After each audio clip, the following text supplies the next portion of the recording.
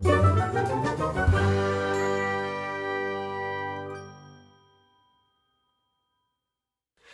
there, and welcome to the Air Equipment LLC YouTube channel. My name is Bill Dunn, and I am the Engineering Marketing Manager here at Air Equipment, located in lovely downtown East Hartford. And today, our topic is the basics of fans and blowers. Our first question we should ask ourselves then is, what is a fan? And as we all know, a fan is, hmm, excuse me, uh, wrong fan there. Uh, although someone dressed like that in my family wouldn't actually be considered very weird. What is a fan? Right out of the ASHRAE handbook, a fan is a device that uses a power-driven rotating impeller to move air. The impeller does work on the air, imparting to it both static and kinetic energy. In other words, a fan is an air pump the rotating impeller creates a pressure differential, and as long as that pressure differential is maintained, air will move. So the heart of any fan is the impeller. And there are a few different basic types of impellers that are used in commercial HVAC. The first type is the axial impeller. And an axial impeller has blades that are attached to a central hub, and the blades are pitched. And when the entire assembly rotates, the pitch of the blade pushes against the air and creates that pressure differential. And that is how we get the air to move. With an axial impeller, the direction of airflow is parallel to the axis of rotation. So with an axial impeller, say for example, if it rotates clockwise, that could push the air out away from the fan. And then if the rotation goes the other way, counterclockwise, the airflow will go in the opposite direction. Here are some images of different types of axial impellers that are used in commercial HVAC, and there's a lot of different materials and sizes and shapes, and each one is designed to be the, uh, the best fit for a particular application.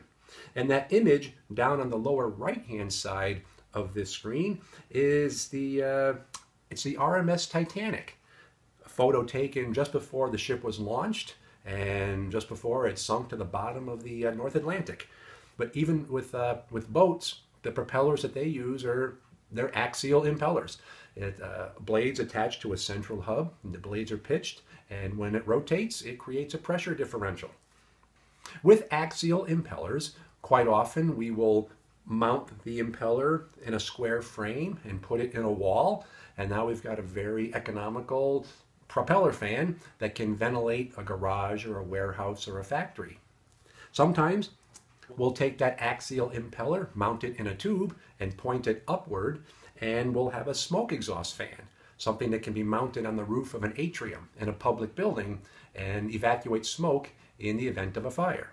Now with axial impellers, generally speaking, they can move a lot of air very economically, but not against very much pressure.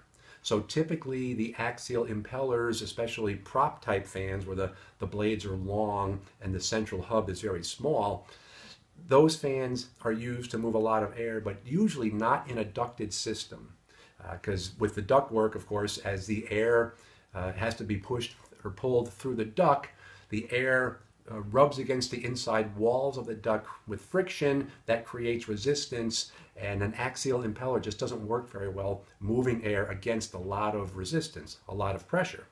However, there is a type of axial impeller, a vane axial and tube axial, where the blades themselves are very short and stubby and the central hub is a much bigger diameter and this type of fan shown here can move air against a significant amount of resistance. So sometimes this type of fan is used in a medium pressure system. However, with an axial fan like this, the, the RPM required is very high, which means the noise is very high, and often the horsepower needed is higher than you would uh, otherwise want to use. The, the main feature about this type of fan is that the overall housing of the fan is just slightly larger than the impeller itself. as you can see, the, the impeller takes up practically the entire diameter of the fan. So in a very tight situation, a very cramped mechanical room, this might be the best choice because it has such a small footprint. But generally speaking, there are other options that can move the air uh, more efficiently. And that brings us to our next type of impeller, the mixed flow. The mixed flow impeller is kind of a hybrid, a cross between a, an axial impeller and a centrifugal impeller. It has blades and a central hub, but it also has kind of a centrifugal shape to it. The nice thing about a mixed flow fan is that it moves a lot of air very efficiently.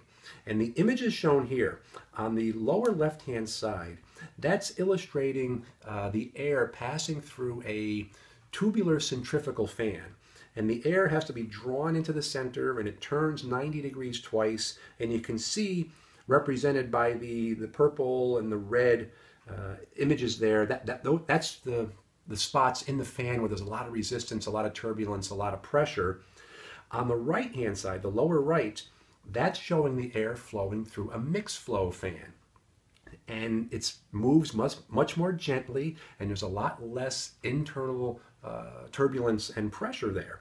So almost in every case, at least every case that I've looked at, the whenever we're looking at moving a certain volume of air against a certain amount of pressure an, in an inline application, when we compare a centrifugal tubular fan to a mixed flow fan, the mixed flow fan can do the performance with a lower RPM, less horsepower, and less noise. So it's just in, in those inline applications, it's just a better choice. It's a very, very efficient way to move the air. Here's an image of a mixed flow type fan. It's a pretty heavy duty uh, construction, so we would not really want to use this if we're only moving, say, 500 CFM inline. It would be overkill for that. But anything over, say, 1,000 CFM up to over 100,000 CFM against medium and even high pressure, up to 8 or 9 inches of pressure, this mixed flow fan is a great choice. Here's an image of a, a, smaller mixed flow wheel. This particular model, the CV fan from Loren Cook Company, is all aluminum. Uh, uses the mixed flow wheel, and we use this a lot in applications such as uh, the exhaust hood above a commercial uh, dishwasher in a commercial kitchen where the air being exhausted is really moist and has a lot of soap and caustic chemicals in it and being all aluminum this fan is a great choice for that.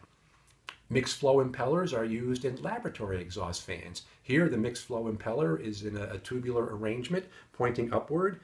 Just below the center of this image you can see in yellow there that is the impeller and this is a, a, fancy lab fan with a bypass section at the bottom and an induction nozzle at the top, but it's just, it's using that mixed flow impeller to do the job.